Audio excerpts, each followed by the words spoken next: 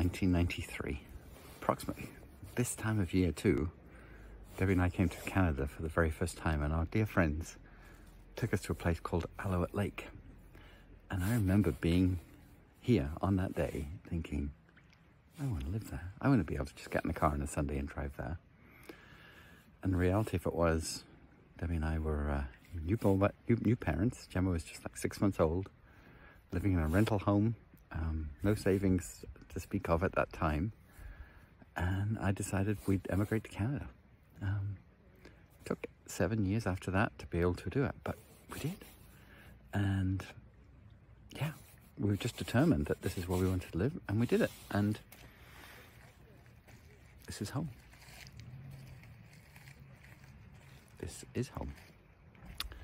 So, if you're determined and you have enough resolve, like me and her, you can do it. It's incredible. It's so worth the effort. It takes a plan, it takes determination, but my favorite places on the planet. So my friend, if you have an unresolved dream in your brain or your heart and you need to talk about how you get there, I got a few ideas for you. I'd love to talk to you about it.